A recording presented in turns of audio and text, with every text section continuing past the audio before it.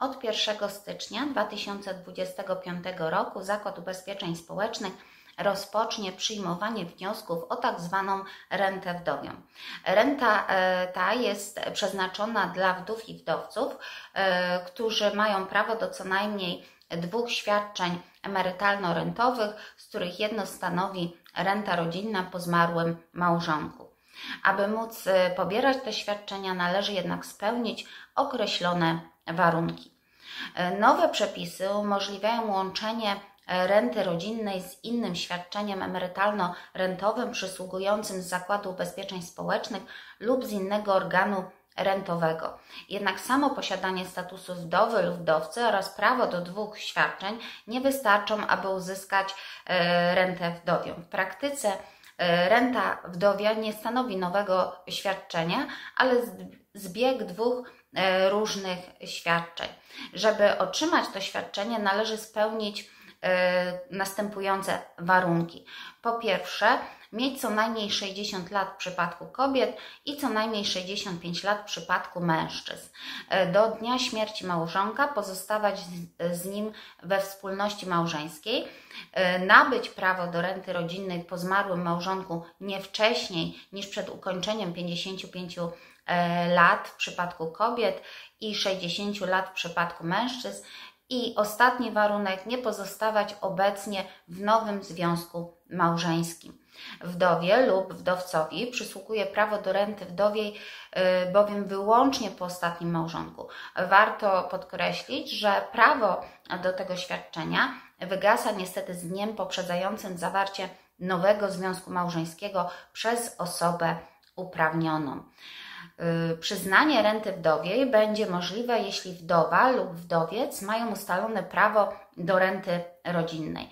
W przypadku, gdy do tej pory nie ubiegali się o przyznanie renty rodzinnej, ponieważ świadczenie po współmałżonku byłoby mniej korzystne, y, powinni oni złożyć jeszcze w tym roku wniosek na formularzu ERR, y, a następnie po 1 stycznia, a przed 30 czerwca 2025 roku należy złożyć wniosek o ustalenie zbiegu świadczeń z rentą rodzinną, korzystając z formularza ERWD.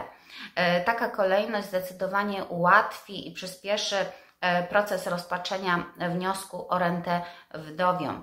E, podobnie, podobna sytuacja dotyczy osób pobierających tylko i wyłącznie rentę rodzinną, które nigdy nie wnioskowały na przykład o przyznanie swojej emerytury, bo wiedziały, że to świadczenie będzie mniej korzystne niż e, renta rodzinna po małżonku. E, jeśli klient złoży wniosek o rentę wdowią, a nie będzie miał ustalonego prawa do co najmniej dwóch świadczeń emerytalno-rentowym, w tych e, właśnie renty rodzinnej po zmarłym małżonku, ZUS niestety odmówi mu prawa e, do renty wdowiej z powodu braku prawa do drugiego świadczenia, czyli po prostu z powodu niespełnienia warunków. Obecnie wdowy i wdowcy mogą pobierać jedno świadczenie wyższe lub wybrane spośród dwóch dostępnych opcji rentę rodzinną lub własne świadczenie, tak jak na przykład emerytura, renta z tytułu niezdolności do pracy czy emerytura rolnicza.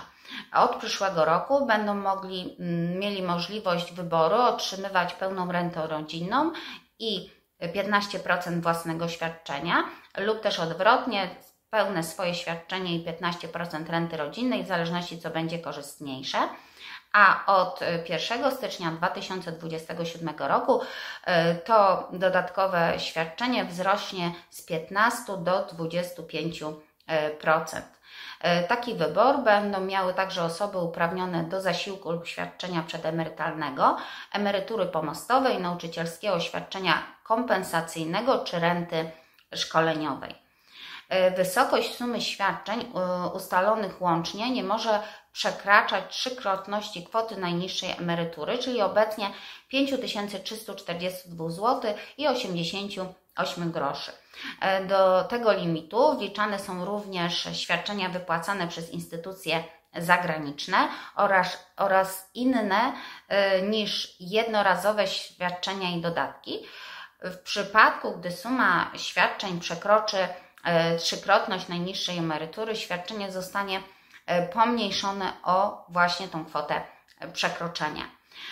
Od 1 stycznia 2025 roku będzie można składać wnioski o tak zwaną rentę wdowią, przy czym prawo do tego świadczenia zostanie przyznane od miesiąca, w którym złożony zostanie wniosek, nie wcześniej nie, jednak niż od 1 lipca 2025 roku.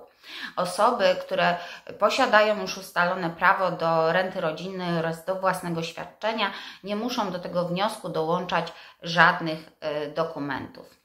E, w przypadku dodatkowych pytań zachęcam do korzystania z e-wizyt e, w Zakładzie Ubezpieczeń Społecznych lub umawiania wizyt w najbliższej placówce na konkretny dzień i godzinę.